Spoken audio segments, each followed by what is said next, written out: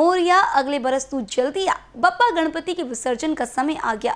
बुद्धि और रिद्धि सिद्धि के दाता से अगले वर्ष फिर से आने की कामना बप्पा के भक्त करते हुए देखे गए। 9 सितंबर 2022 को अनंत चतुर्दशी पर यह महत्वपूर्ण उत्साह मनाया गया। ढोल नगाड़ों के साथ धूमधाम से गौरी पुत्र गणेश को विदाई दी गई। शुभ मुहूर्त में गजानन को विधि पूर्वक जल में विसर्जित किया गया। इसी श्रृंखला में नागपुर शहर में भी विविध परिवारों की ओर से बप्पा का विसर्जन किया गया। इटंकर फैमिली में भी हर साल की परंपरा को निभाते हुए इस साल भी बड़े ही धूमधाम के साथ बप्पा का विसर्जन परिवार के सदस्यों ने मिलकर किया। पिछले 26 सालों की परंपरा को कायम रखते हुए इस साल भी सावित्री विहार स्थित संतोष श्रीखंडे के घर पर बप्पा का विसर्जन बड़े ही धूमधाम के साथ किया गया। इस दौरान बड़ी संख्या में बाबा के भक्त मौजूद थे।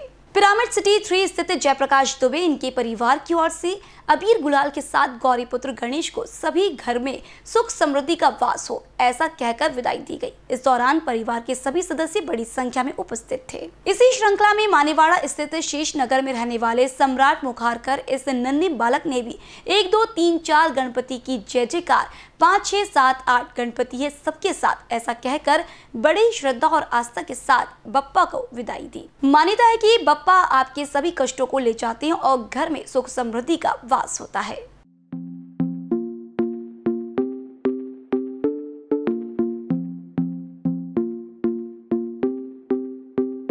रांजण गावाला गावाला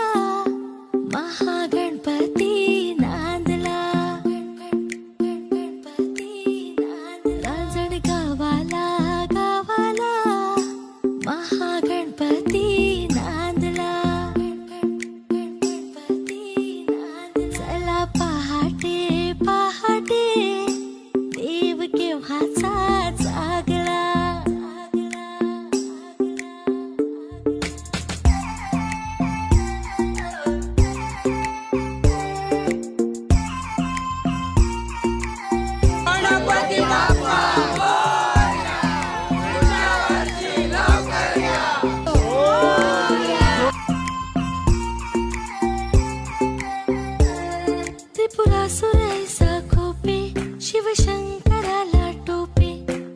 त्रिपुरासुरैसा खोपे शिवशंकराला टोपे त्रिपुरासुरैसा